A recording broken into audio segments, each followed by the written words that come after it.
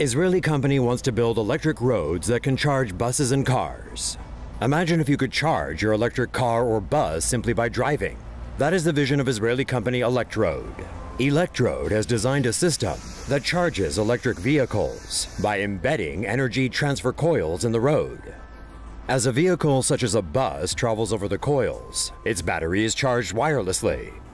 ElectRoad claims it can lay two kilometers of energy transfer coils in a day. Road is dug up by one machine. The coils are laid. Then another machine buries the coils under bitumen. Roadside equipment helps to monitor electricity usage. ElectRoad hopes to begin testing the system with a public bus in Tel Aviv. Here are four more electrifying ideas from the future. Solar powered roads could power the entire US. Idaho based Solar Roadways is hoping to build solar powered roads that will not only provide power but will also create digital driving services that can be remotely controlled. Solar Roadways says if installed nationwide in the US, their roads could provide more renewable energy than the entire energy the country uses. Solar powered roads by Solar Roadways are comprised of hexagonally shaped panels that consist of four layers. A base layer of recyclable materials that is placed on the ground. A support structure with embedded circuitry, LED lights that collect sunlight and convert it into electricity, and finally a top layer of reinforced glass with traction support for vehicles. The panels can support trucks weighing up to 250,000 pounds or 115,000 kilograms, and the lights can be remotely controlled to provide guidance to drivers or to reallocate spaces in a parking lot. Electric vehicles would be able to use mutual induction technology to charge while driving. The panels also contain heating elements connected to the electricity grid that can melt snow and ice that forms on them. An attached cable corridor helps store and treat stormwater while also providing a place to store power and data cables. The cost of the solar panels can be covered primarily through the generation of electricity, which can also power connected homes and businesses. Solar Roadways estimates there is about 31,000 square miles or 80,000 square kilometers of usable road surfaces in the US that could be converted into solar powered roads. Solar Roadways received a contract from the Federal Highway Administration to build the prototype in 2009. Now they are hoping for $1 million in funding in order to begin mass production of the road.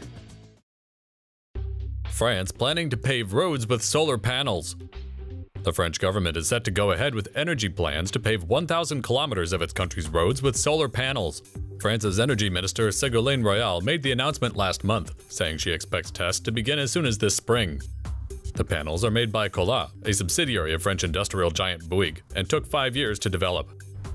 These 7mm thick Wattway solar panels contain photovoltaic cells, which collect solar energy through a thin layer of polycrystalline silicon.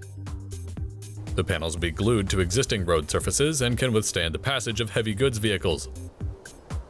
The manufacturers say road surfaces are occupied by vehicles only around 10% of the time, so the panels will get plenty of exposure to the sun. The panels can provide electricity for street lights, street furniture, road signs, and buildings. The manufacturers say 4 meters of solarized road can power one household, and 1 kilometer can produce enough electricity for a town of 5,000 people. If it reaches its maximum potential, the plan could provide electricity for 5 million people, or about 8% of France's population. The cost of the project is unknown, but the French government has suggested it could pay for it by raising taxes on petrol. Last year, the world's first road to convert sunlight into electricity opened on a 100 meter stretch of carriageway in the Netherlands. Eight new electric buses will begin operating in Milton Keynes, England later this month. The bus route is 25 kilometers long. The buses receive booster charges throughout the day at the start and end of the route. Primary wire coils and plates are buried in the road.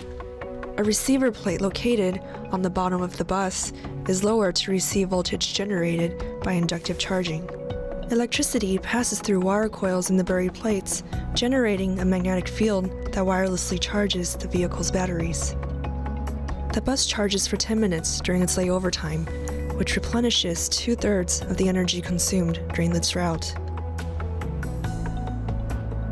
The Milton Keynes Council said it would cover all bus routes with electric buses if the new buses prove to be a success. U.S. designates electric vehicle charging corridors. Taking your electric car out further than work or a nearby shopping mall is about to get a lot easier, thanks to a new initiative launched by the Obama administration. The U.S. federal government plans to establish 48 electric vehicle charging corridors across the country to encourage the adoption of electric vehicles. The 48 corridors will be designated by the Department of Transportation. They will cover nearly 25,000 miles, crossing 35 states and the District of Columbia. The plans call for either an existing or a planned charging station within every 50 miles along these corridors. New signs approved by the Federal Highway Administration will help drivers identify and locate these charging stations. The signage and placement of charging stations at 50 mile intervals will help overcome what analysts call range anxiety, one of the main barriers to using electric vehicles for longer trips. Electric cars such as the Volkswagen e-Golf, Chevrolet Spark, and BMW's i3 can travel only 80 miles on a single charge. Among the 48 vehicle charging corridors are Interstate 5 from San Diego to the Canadian border, Interstates 10, 20, 30, 35, and 45 in Texas, and Interstate 80 from Nebraska to New York City.